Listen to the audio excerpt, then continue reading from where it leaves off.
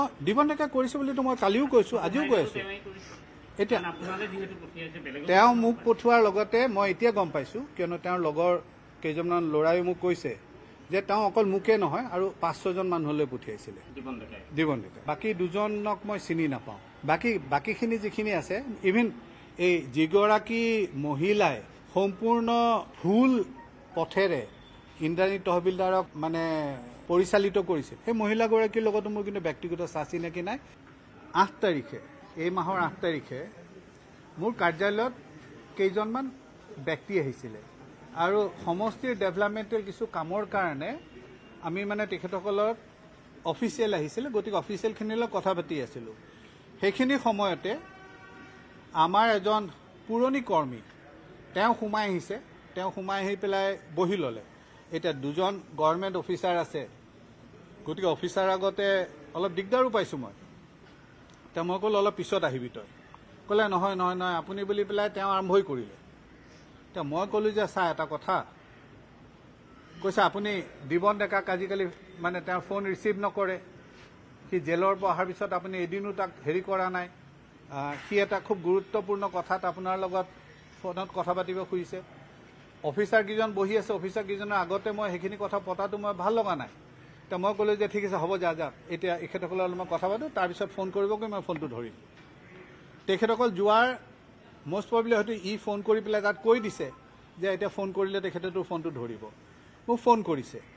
তেখেত যথেষ্ট মানে যথেষ্ট এক্সাইটেড হৈ আছিলে। এক্সাইটেড হৈ পেলাই ফোন কৰিছে।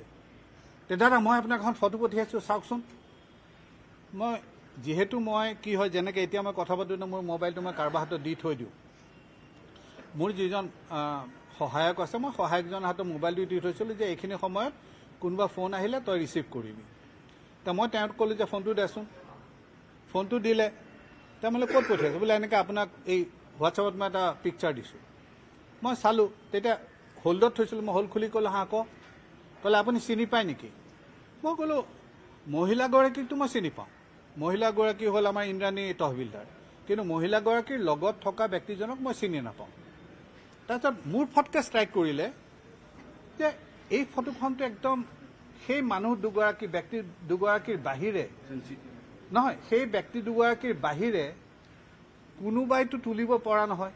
এটা বন্ধ শোৱনি কোঠাত যদি এনেকুৱা এখন ইণ্টিমেট ফটো এখন তুলিছে তেতিয়াহ'লে সেই দুগৰাকী ব্যক্তিৰ ভিতৰতে কোনোবা এজনে তুলিব লাগিব। নহ'লে কোনোবাই হিডিন কেমেৰা দি পেলাই তুলিব লাগিব। তো মই ক'লো তোৰ তাত কেনেকৈ আহিলে বস্তুটো? মই ক'লো যে লগে লগে তোৰ তাত কিয় আহিল? আৰু দ্বিতীয় ক'লো যে তই এই দুবছৰ দুমাহো হোৱা নাই জেলৰ পৰা ওলাইছ। আকৌ তই এইবিলাক জেঙত কিয় সোমাইছ?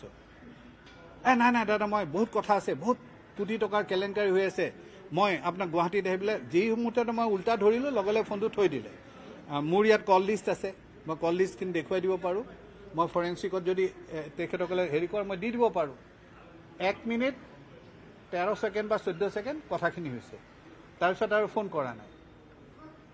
তাৰপিছত মষ্ট প্ৰবলি এঘাৰ তাৰিখে এঘাৰ তাৰিখে আকৌ ফোন আহিছে।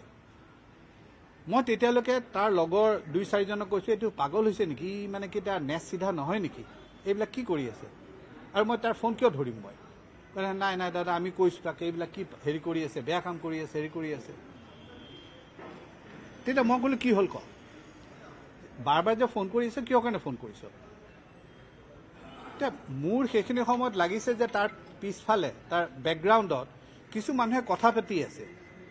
আমিও ৰাজনীতি থকা মানুহ আমিও সেই কেনেকৈ কোনে ফোন ৰেকৰ্ডিং কৰে টেপ ৰেকৰ্ডিং কৰে সেইবিলাক বুজি পাওঁ। লগে লগে মই বোলো তই ক'ত আছ? ক'লে যে মই গোলাঘাটত আছোঁ। কিন্তু মই গোলাঘাটৰ পৰা যোৰহাটলৈ যাম। এতিয়া মই ক'লোঁ যে তোৰ যদি কিবা এনেকুৱা ধৰণৰ কথা আছে তেতিয়াহ'লে তই ৰাজ্য সভাপতিক জনা। যিহেতু চৰকাৰী চাকৰিৰ কথা তই চৰকাৰক জনা। তই মোক কিয় কৈ আছ? সি ক'লে নহয় নহয় দাদা আপোনালোক পুৰণি মানুহ আপোনালোকে এইবিলাক কথাত মাত নামাতে কাৰণে মানে এইবোৰ ঘটনা হ'ব ধৰিছে দলটোৰ হেৰি। মই দেখিলোঁ যে ই মানে মোক উচতাই পেলাই এনেই মোক মানে হেৰি কৰি আছে। মই ক'লোঁ যে থয় এতিয়া পিছত কথা পাতিম বুলি পেলাই মই ফোনটো থৈ দিলোঁ। তাৰপিছত চৈধ্য তাৰিখৰ দিনাখন আপোনালোকৰ কোনোবা এগৰাকী সাংবাদিক বন্ধুৱে মোলৈ ফোন কৰিছে। ক'লে দাদা আপোনাৰ এনেকৈ এটা হেৰি ওলাইছে এন কে টিভিয়ে বজাই আছে বিপ কৰি দিছে কিন্তু বিপ কৰিলেও আপোনাৰ কথা এনেকৈ ওলাইছে। মই ক'লোঁ তেনেকুৱা ধৰণৰতো কোনো কথা নাই। যদি ভাইৰেল কৰাৰ কথা ওলাইছে আৰু মই ভাইৰেল কৰা বুলি কৈছে তে ছ'চিয়েল মিডিয়াত মই ভাইৰেল কৰিব লাগিলে কিবা এটা প্লেটফৰ্মটো ল'ব লাগিব নহয়? যে মই ফেচবুকত পষ্টিং দিছোঁ সেইটো এটা ভাইৰেল হ'ব পাৰে। বা মই ইউটিউবত এটা হেৰি দিছোঁ সেইটো এটা ভাইৰেল হ'ব পাৰে। বা মই বোলে ইনষ্টাগ্ৰামত দিছোঁ সেইটো এটা ভাইৰেল হ'ব পাৰে। বা একো নহয় মই বোলে ক'ৰবাত বোলে হোৱাটছএপ গ্ৰুপ এটাতো বোলে ফটোখন দিছোঁ সেইটোহে ভাইৰেল হ'ব। মোক এজন মানুহে ফটোখন পঠিয়ালে মই ফটোখন ভাইৰেল কৰা হ'ল নেকি? আপোনালোক সকলোৱে জানে যে দুহেজাৰ সোতৰ চনত যেতিয়া প্ৰথমবাৰৰ বাবে বিজেপি চৰকাৰ গঠন হৈছিলে এক ছেপ্টেম্বৰৰ দিনাখন দীঘলী পুখুৰীৰ পাৰত কিছুমান মহিলাই মুণ্ডন কৰিছিলে। বিজেপি চৰকাৰে নিৰ্বাচনী প্ৰতিশ্ৰুতি নাৰাখি প্ৰতাৰণা কৰা বুলি। আপোনালোকে চাওক তাৰ ভিতৰতে সেই মহিলাগৰাকীকো পাব। গতিকে অতি দুৰ্ভাগ্যজনকভাৱে মই আজি আমাৰ ৰাজ্যিক সভাপতি ডাঙৰীয়াকেও কৈছো দলটোৰ সাংগঠনিক দিশত বহুতো এনেকুৱা ব্যক্তি আহি পৰিছে যিবিলাকে দলটোৰ নাক কাণ কটা কাম কৰিব ধৰিছে। আজি আমি এইটোত গৰ্বিত অনুভৱ কৰোঁ যে এইখন চৰকাৰৰ দিনত কোনো পা পইচা নোহোৱাকৈ স্বচ্ছভাৱে মানুহক চাকৰি দিয়া হ'ল।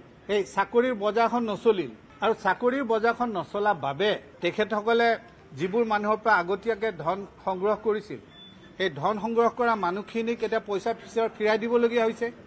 তেওঁলোকে সেই পইচাৰে হয়তো খৰচ কৰি পেলাইছিলে বা দিব পৰা অৱস্থাত নাছিলে।